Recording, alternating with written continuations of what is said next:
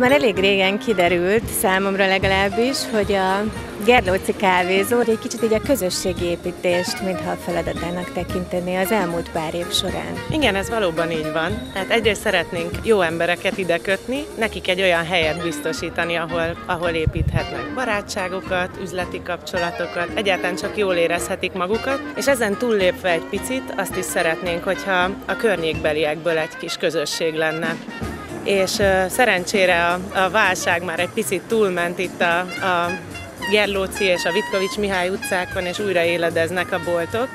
És azt szeretnénk, hogyha nem csak szomszédok lennénk, hanem egy közösség, akik szeretnek egymáshoz átjárni. Van egy kis újságunk, ebbe is mindig betesszük a környékbeli boltokkal is, hogy mi történik.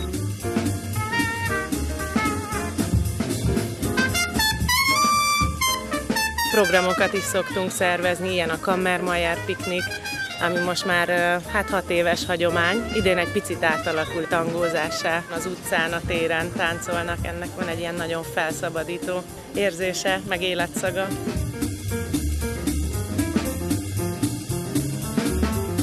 Azt is mondják, hogy egy kicsit olyan olaszos a városnak ez a része. Olaszországban olyan édes az élet attól, hogy az emberek a tereken élnek, tehát ez a piazza életérzés, ez igen, ez megvan. Most éppen füvet raktunk le, és erre is buzdítjuk az embereket a környékbe, hogy élvezzék.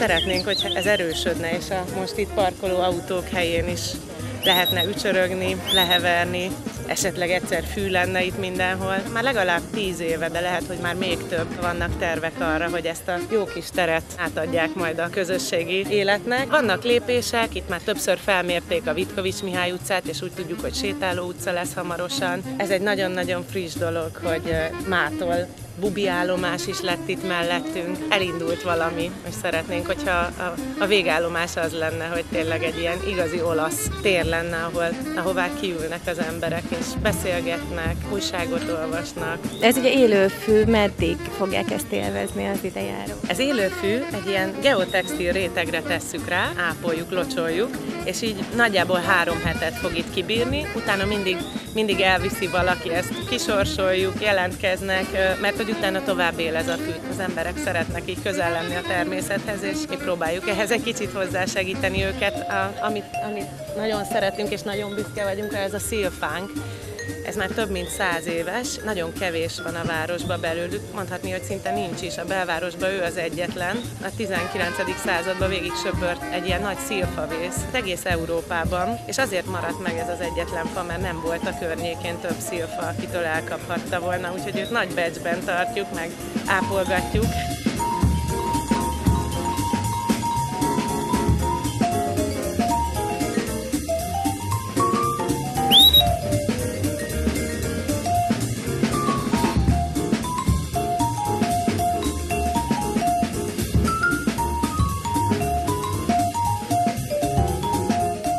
Teraszon elindítottatok egy könyvvásárt. Beszéltük, hogy szeretnénk közösségé kovácsolni a környékbeli üzleteket. Tíz éve volt a szomszédos utcában a Red Bus nevű használt angol nyelvű könyveket áruló kis üzlet. Tényleg egy ilyen színfolt volt, itt mindenki ismerte, egy ilyen biztos pont. Január végén lehúzták a rolót és bezártak, és hát nem szerettük volna hagyni, hogy ezzel el is tűnjenek végleg.